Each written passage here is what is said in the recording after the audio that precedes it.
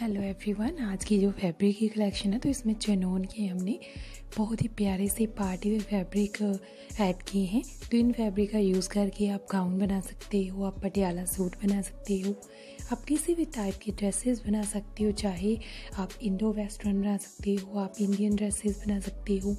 आप श्रग बना सकते हो, लहंगा चोली बना सकते हो। बहुत ही प्यारे से फैब्रिक है और बहुत ही प्यारे से कलर है इनके। तो आपको जो भी अच्छा लगे, आप चूज़ कीजिए अगर अपनी ड्रेसेस बनाइएगा।